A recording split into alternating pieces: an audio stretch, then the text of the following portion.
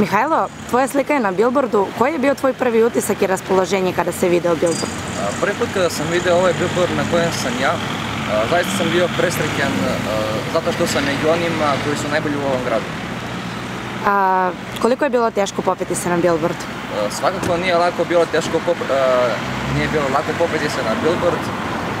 Tu je bilo puno truda, volje i odricanja, ali na kraju sam uspio.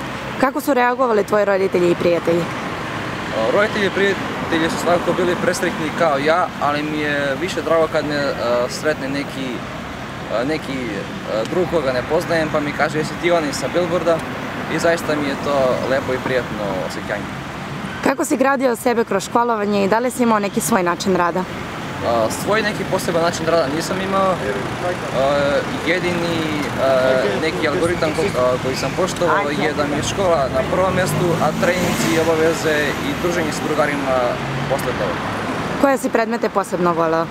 Posebno sam voleo tehničko i informatičko obrazovanje i iz tog predmeta sam postigao i zapažene rezultate. Postoje jedna latinska izreka, ne učimo za školu, već za život. Sugestivno pitam, da li je to bio i tvoj moto? Nije bio, ali nije to bio moj moto, ali svakako mislim da je važan zato što iskustvo je mnogo važno u životu i, i sa iskustvom možemo rešiti probleme sa kojima sa gradivom i školom ne možemo.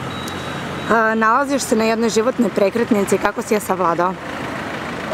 Sad smo na raspustu, prebrodili smo sve školske obaveze, prijemne ispite, tako da sad čekamo listu želja i upis, ali ću upisati gimnaziju i prirodno matematički smer.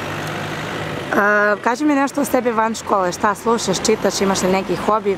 pored škole vozim, volim da vozim bicikl, zimi skijam, volim da čitam, slušam muziku, ali... Koji je neki tvoj savjet, poruke i želja drugim učenicima? Poruka i drugim učenicima je da uz puno rada, organizacije dobre i volje može se postići sve u životu.